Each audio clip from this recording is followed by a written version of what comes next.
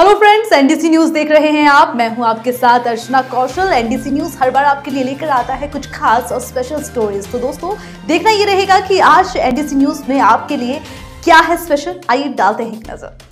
वैसे तो लोग आजकल होंडा और टाटा जैसी गाड़ी में बैठकर अपने सफ़र को खूब एंजॉय कर लेते हैं। वहीं इतने में ही जब पास से निकलती है मर्सिडीज तब पास से निकलती है तो हर कोई ये सोचता है कि इस गाड़ी में तो बैठना एक सपना ही रह जाएगा। मर्सिडीज की तो बात ही अलग है। ऐसी बातें लोग आपस में करते हैं।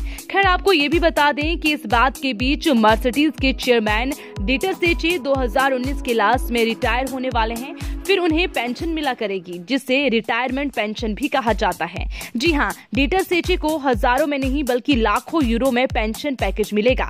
भारतीय करेंसी के मुताबिक ये कुछ आठ चौवन तेईस, आठ सौ चौंतीस दशमलव ज़ीरो नौ बैठता है और दरअसल साल 2017 में इस पेंशन डील का फैसला आ गया था। इसके अलावा पेंशन फंड के पाँच लाख यूरो प्रति वर्ष अलग से मिलने की संभावना है। खबरों के मुताबिक जर्मनी की एक पत्रिका का ये दावा है कि सेचे जर्मन कंपनियों के इतिहास में सबसे ज़्यादा पेंशन हासिल करने वाले पहले व्यक्ति होंगे। यदि रोज की बात की जाए तो उन्हें चार हज़ार दो सौ पचास यूरो पेंशन मिलेगी, यानी कि तीन दशमलव चार चार लाख रुपए।